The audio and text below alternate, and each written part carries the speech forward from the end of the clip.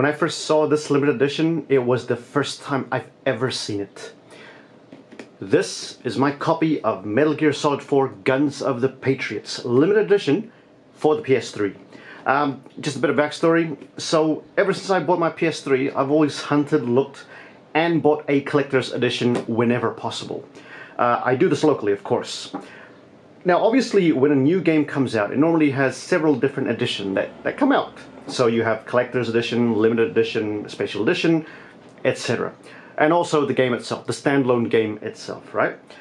Now, my local retailer normally announces this, and I would then proceed to pre-order it because why not? And they know they they normally announce this through their Facebook page.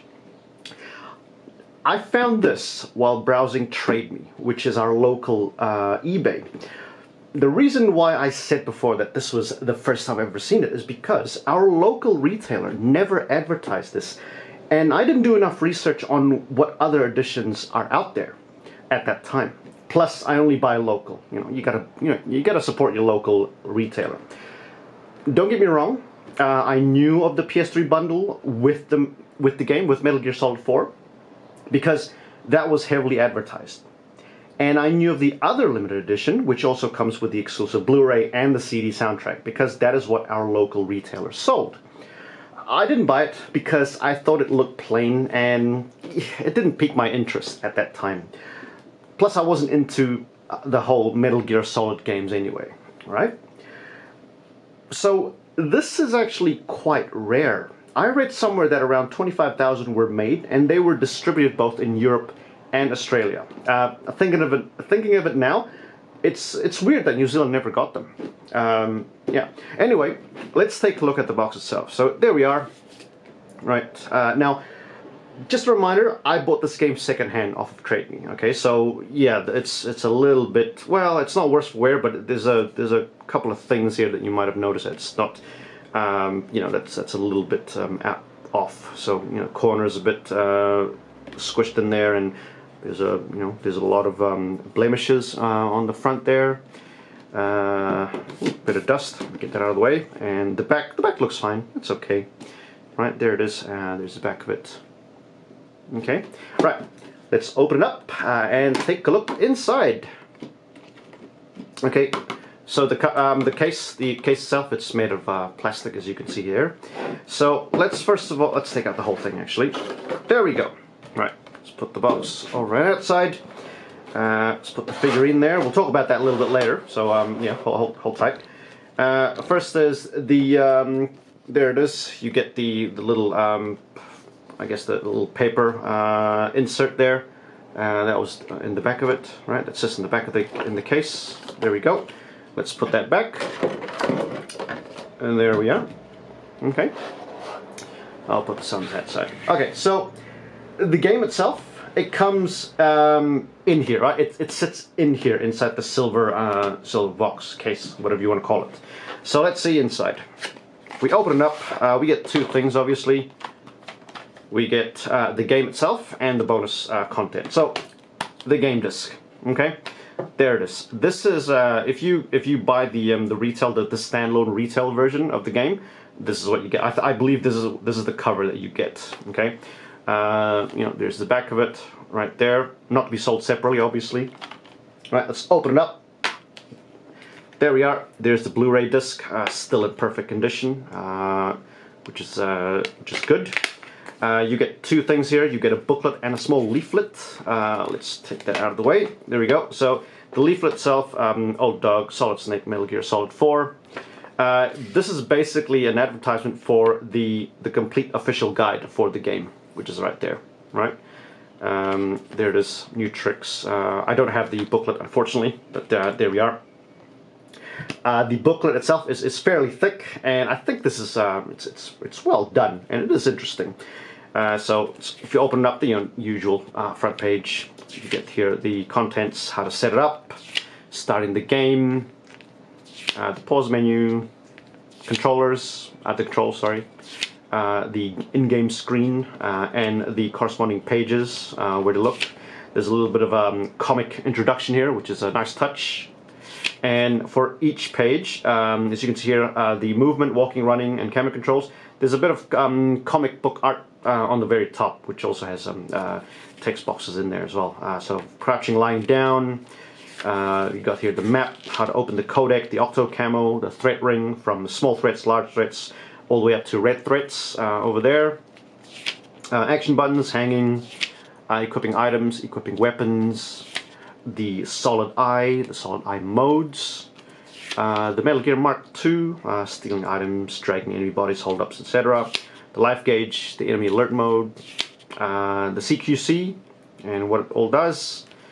Uh, first-person attacks, weapon types, weapon attributes, the Drebin points, uh, rolling, reputation, uh, what to do if. So if I keep dying, you know, obviously, you know, yeah, this is all the tips in here. the enemy's blocking the way forward, can't use the weapons, etc. There's also a little comic um, here for Metal Gear Online. Right, there we are.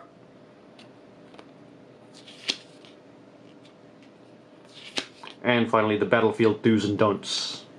And then there's a path to Metal Gear Online as well. And then uh, this is a uh, photo of the Beauty and the Beast unit. Right, and finally last page, and there's the back of it. Okay. So there it is.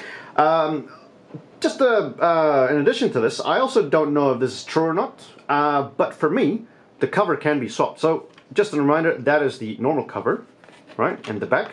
But uh, if you take the the cover out, you can actually see here that um, it actually makes sense uh, that you can, you know, you can change the cover, right? So if I put this um, on the front, if I do it like that, you know, you see there, you, that can also be a cover. I mean, if you want a, a red Metal Gear Solid 4 cover, then by all means, change it. But there it is. Okay? But like I said, I don't know if that's true or not. I don't know if that's that's uh, meant to, to be. Um, but yeah, I mean, I wouldn't I wouldn't want a red Metal Gear Solid cover. But uh, for those of you that do want it, you can you can change it. Right? So there it is. There is the game. And next up uh, is the bonus Blu-ray disc and the soundtrack CD. Right, there's the case right there. we open it up, uh, there is the bonus disc. Uh, there is the soundtrack right there. And you also get a leaflet, a warning spoiler leaflet. And it says, the Blu-ray disc contains several spoilers from the game. It is highly recommended that you complete the game first before watching this disc.